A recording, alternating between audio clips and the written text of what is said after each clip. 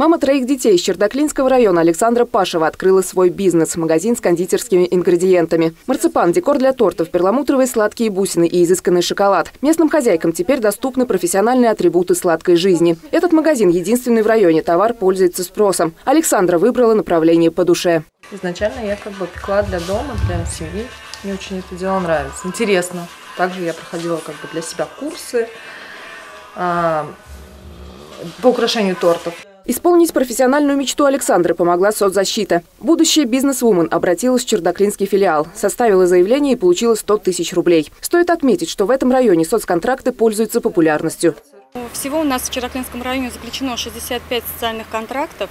А, в 2019 году у нас заключено 31 э, социальный контракт на сумму 1 миллион 452 тысячи рублей. 30 а, из них на развитие личного подсобного хозяйства.